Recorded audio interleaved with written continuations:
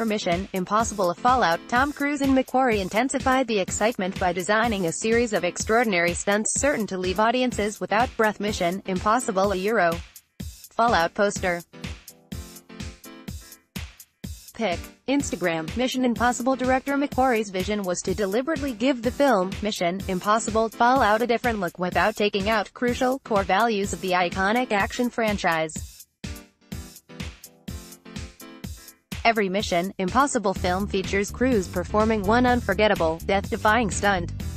In Mission Impossible Ghost Protocol, it was climbing Dubai's Burj Khalifa, the world's tallest skyscraper and in Mission Impossible Rogue Nation, it was hanging from the door of an Airbus A400M Atlas military transport plane as it takes off. Commenting on the same, McQuarrie said, Mission Impossible is all about practical stunts, practical action and real locations with as little green screen as humanly possible. Tom is ready and willing to do just about anything we can conjure up. So you have to find ways to put the camera where you can see that your star is actually performing these stunts, so everything is designed around putting Tom in the center of the action. For Mission Impossible Fallout, Cruise and McQuarrie intensified the excitement by designing a series of extraordinary stunts certain to leave audiences without breath. Adding further, McQuarrie said, Tom spent over a year preparing for this movie. There was a lot of speculation about what the stunt would be. I had to clarify that he was preparing for a sequence of stunts. There is more danger in this sequence than I have ever seen, Tom was constantly in peril.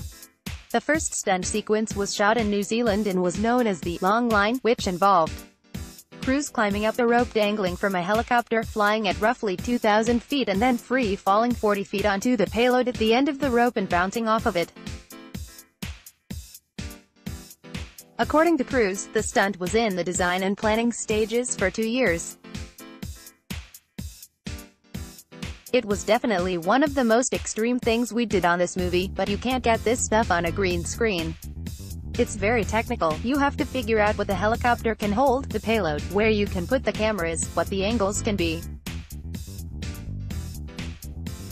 All the rigs have to check out, any little particle that comes off and hits the rotor blades is a real problem. It required great flying from the pilot and rigging from the stunt guys, who all did an incredible job. As thrilling as the stunts are, the crew always avoided crossing over into unrealistic superhero territory, says stunt coordinator Wade Eastwood. We create action that is still real. I think that's why audiences relate to his character in these movies. Ethan Hunt is a human being. He knows what he's got to do. He doesn't always pick the easiest way to do it, but he throws everything at it, so we have to create action and stunts that can wow the audiences while also giving them a laugh and being believable. Keep up the wait and watch Mission Impossible Fallout in theaters near you soon. Mission Impossible Fallout, a Paramount Pictures movie, exclusively distributed in India by Viacom 18 Motion Pictures releases in India on July 27, 2018. Catch up on all the latest entertainment news and gossip here. Also download the new Midday Android and iOS apps to get latest updates.